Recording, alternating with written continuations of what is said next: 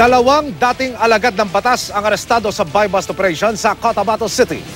Pulis noon si Nelson Salikali at nagsisilbi namang sundalo si Francis Clamor Cando.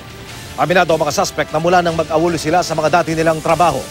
Nalulong sila sa droga para hindi mapagod sa araw-araw nilang gawain. Nakuha sa mga suspect ang limang pakete ng hininalang shabu at drug paraphernalia. Sasampahan sila ng kasong paglabag sa Comprehensive Dangerous Drugs Act.